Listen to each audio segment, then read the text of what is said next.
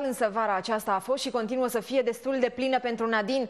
S-a căsătorit pe 5 iunie, doar ce s-a întors dintr-o frumoasă lună de miere petrecută la Los Angeles și și-a lansat noua piesă Let It Rain. Însă cea mai mare realizare a lui Nadine a avut loc anul trecut când Mulatra a devenit mama unui băiețel.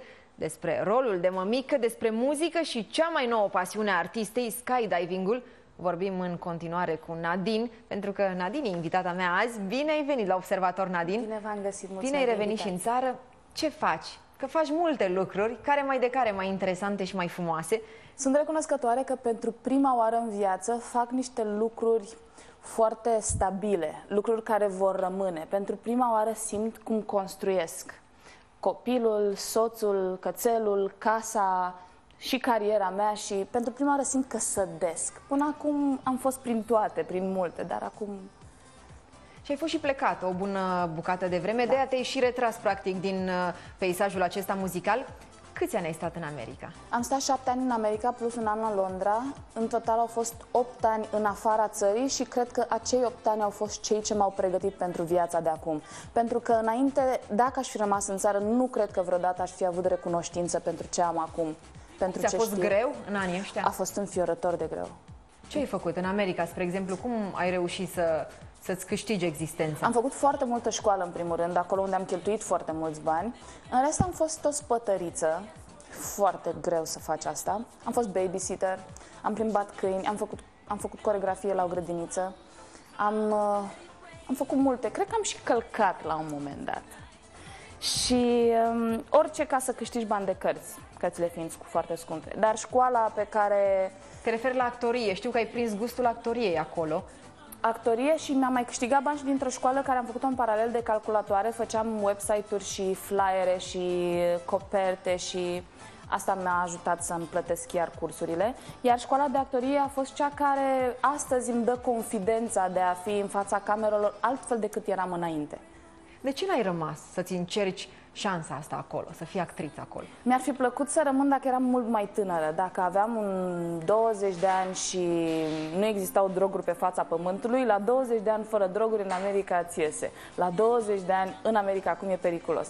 Iar pentru mine era mult prea târziu ca vârstă. Și Apostolescu, cel cu care m-am măritat... Uh, Soțul tău, așa îi spui? Așa îi spun Apostolescu. Așa la linți? Da.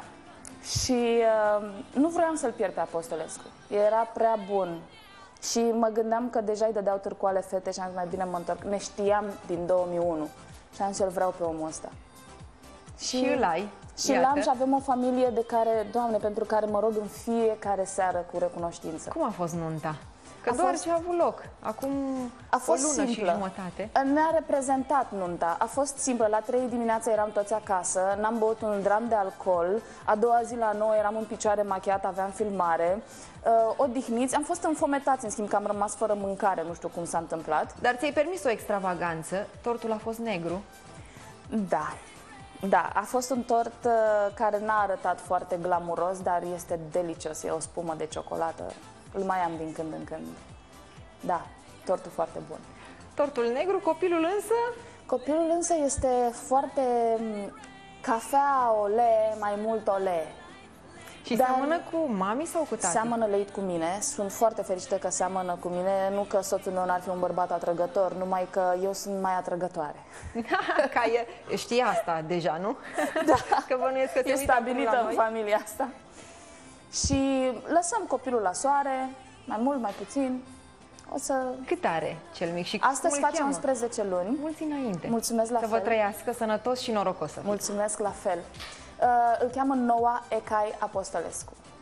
Și Noa după Noe, cel care ne-a mai dat încă o șansă, pentru că simt că această familie pe care pentru prima oară o am atât de închegată și sănătoasă este o a doua șansă pentru mine, iar Ecai înseamnă ocean de înțelepciune în tibetană lucru pe care îmi doresc și pentru mine și pentru el. Așa să dea Dumnezeu atunci. Ești soție, ești mămică și iată că te-ai și relansat. Asta Larry Drain este prima ta piesă după acești 8 ani departe de casă. Este o piesă foarte îndrăzneață, are niște sunete noi, este curajoasă, mă reprezintă în toate cele, este un, are un mesaj pozitiv. Am făcut pact cu mine să folosesc numai cuvinte pozitive de acum încolo pe tot restul vieții mele. Devin, Ai învățat asta afară? Am învățat, da, americat învață. asta America te învață să fii mai responsabil față de cuvinte, față de societate, față de comunitate și asta am învățat și gata, este a mea, nu o mai pierd.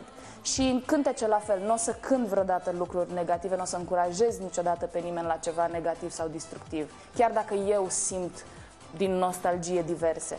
Am o responsabilitate față de fanii mei. Și te-ai întors pentru ei acum. M-am întors pentru ei și Un videoclip când uh, acum în toamnă vor vreau primi? să fac și videoclip și ședință foto, să dau drumul și la website. S-a Nadine. închegat echipa deja? Ai Acum strâns nu, lângă mai tine am, toți oamenii mai de care am ai nevoie? încă un mic detaliu de pus la punct și dau drumul la tot cu coregrafii, cu concept, cu tot. Și nadinoficial.ro este vreau să te site-ul întreb pe dacă care... Ai lansat deja site-ul? Exact. Și site-ul și uh, pagina de Facebook na- de like la fel, nadinoficial.ro. Îți mulțumesc foarte mult că ai venit azi la Observator. Și eu. Și numai bine, multă baftă. Mulțumesc!